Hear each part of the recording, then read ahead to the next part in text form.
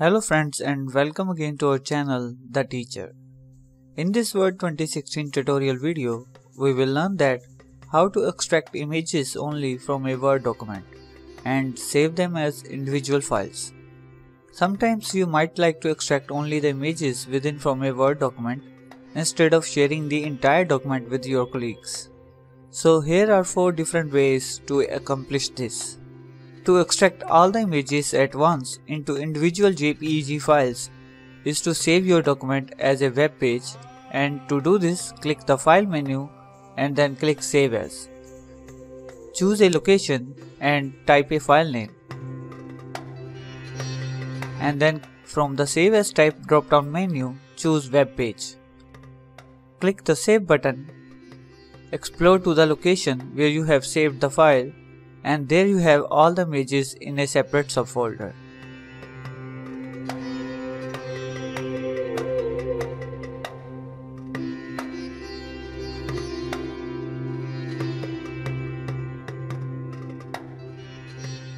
Another interesting way to extract all the images alone from a Word document is to change the file type extension. For this, first save your document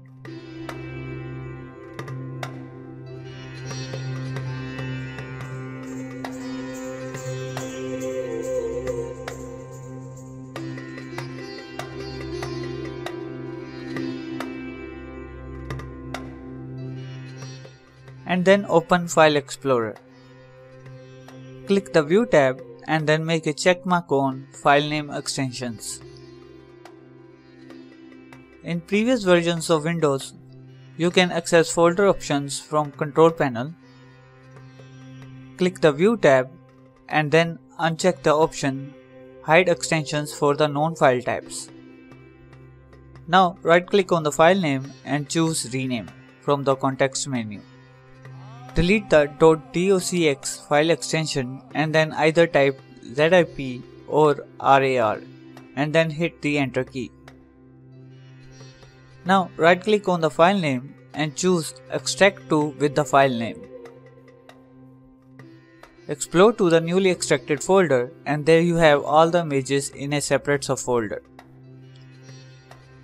The easiest method to save a single picture within from your Word document as an individual picture file is to right click on the picture and choose Save as Picture option from the context menu. Type a name, choose a location and there you have it. But this procedure could be a lengthy one if you want to save several pictures as individual files from a document. The last method to save a single word picture as a separate image file is to copy the image from Word and then paste it into the paintbrush.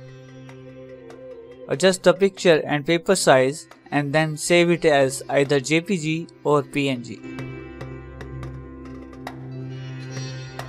I hope you will find this video informative and interesting. Tell us by hitting the thumbs up button, by sharing this video with your friends or by leaving a comment in the section below. Subscribe to us for more upcoming tutorial videos and as usual thanks for watching and take care.